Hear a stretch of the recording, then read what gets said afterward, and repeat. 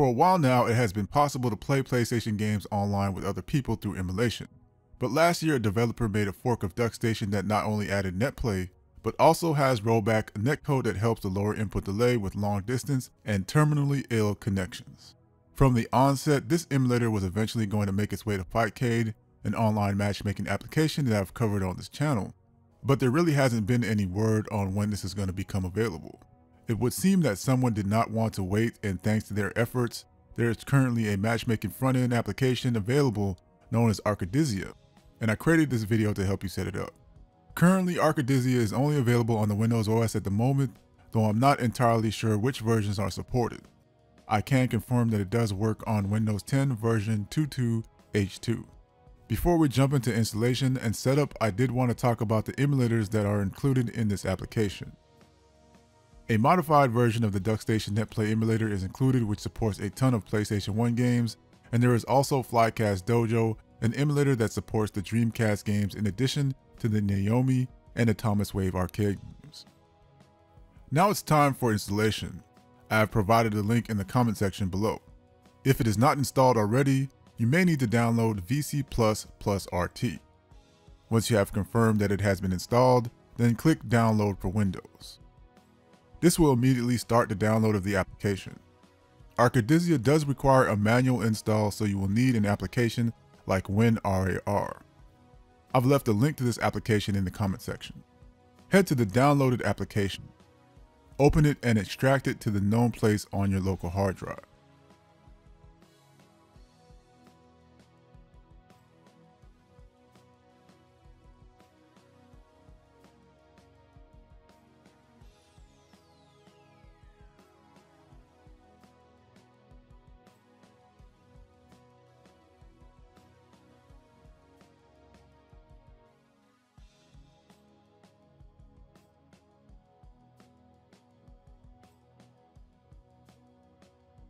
To start the application, click on arkadyzjalauncher.exe. This should open up the initial homepage. Enter a preferred nickname and select Login. By default, you will be under the DuckStation emulator section. The first thing I recommend doing is searching for games that you have and want to play online, as not every PlayStation title is available. Click on the search box and type in your game. For this example, I'm going to do a search for Tekken 3. Once you have confirmed the game is available, you will most likely have to convert this game to a CHD. To do this, click on the first icon in the Tools section. This should bring up the File Explorer. Now you want to locate your game ROM. To do a conversion, your PlayStation game has to be in the BIN/CUE format, and you want to make sure both files are present. Select the CUE file of your game and then select Open. If it worked correctly, this should open a new window where you'll see a progress of the file being converted. Once it has completed, the window will automatically close and this should bring you back to the application. Click on the second icon in the Tools section. This will open up the ROMs folder location in the File Explorer and you should see your game. Now you can test the game to make sure it's working. Underneath the Action section, you want to click on the icon that looks like a monitor. If the game is working correctly, it will usually open in an area where multiplayer is available. Close the game for now. If you clear out your search, you should now see the game you're running at the top with a check mark in the found section. Any new game that you successfully add to the ROMs folder will show up here. Before you jump into a game, you definitely want to make sure your controls are in working order. Select Setup Emulator. This will open the DuckStation emulator. Go to Settings and click on Controller. You can confirm your controller has been detected in this section here. Once you have confirmed that it is present, then select Controller Port 1.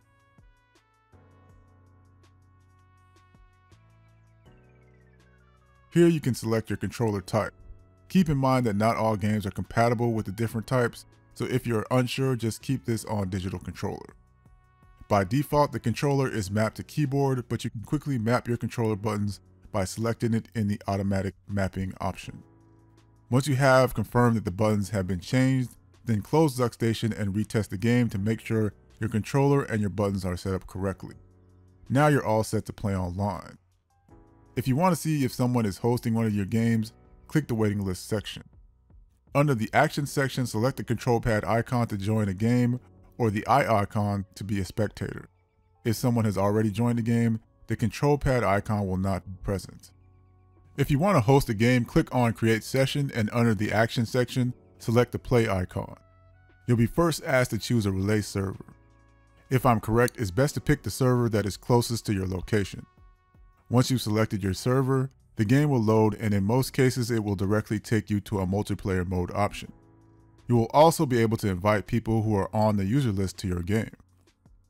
If you are hosting and someone connects to you for the first time, you'll most likely be met with the Windows firewall screen. Just make sure that you give it permission. Another thing that may happen during this time is the game window not showing when you connect to someone. If this happens, go back to the DuckStation emulator section and click the last icon located under the Tools section and it should bring up your game window. Setting up Flycast Dojo games are a little different and they don't have the same requirements to run them as the DuckStation emulator does. The ROMs that are recommended for Flycast Dojo are as follows. For Naomi, MAME 0.218, for Atomiswave 0.266, and for Dreamcast, CHD files based on the redump set are recommended. Like before, I suggest you do a search for the game you want to play. For this example, I'll be adding Street Fighter Zero 3 Upper. Click on the folder icon in the Tools section to open the ROM's folder location. Once it's open, I recommend doing a right click over the File Explorer icon and selecting File Explorer to open a new window. Locate the necessary ROM files and select them.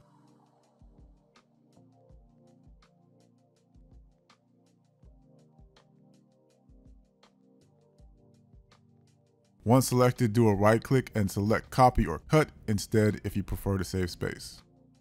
Head back to the ROM folder location, right click on the window and select paste. If you are new to CHDs, then it's important to note that there can be different requirements to get a game to run.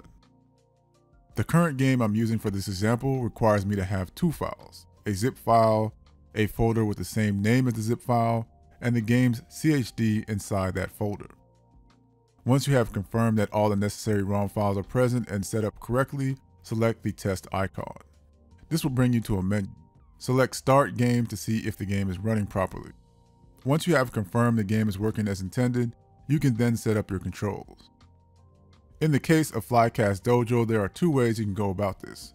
You can select the test game icon to bring up the menu, which has the setting option available, but for this example, I'm going to go with the second way which is selecting Setup Emulator. This will open the main Flycast Dojo window. Select the settings icon and select controls. This should bring up options to the right side of the window where you should see the controller you have connected as one of the physical devices in the list. You can quickly choose to map your buttons by pressing Quick Map or you can select Map. Mapping buttons in Flycast Dojo is a little different than with DuckStation as there are separate sections for mapping buttons for Dreamcast and the arcade hardware. The selection is located at the top right hand of the window. Once you have confirmed and tested your control buttons, you should now be all set to play with someone online, and you just have to repeat the same steps that you did with PlayStation games to either join or host a match. Before I conclude, I did want to leave you with one small tip for setting the input delay. This option is currently only available for the DuckStation emulator. When you play with someone using the DuckStation emulator, it will provide the ping. The ping is based on the connection between you and the player, and the ping is determined by the distance, speed, and stability of both your connections. If you find that the ping is around 150 ms or above, or you find that the ping is not stable, then you may want to consider increasing that input delay to 2.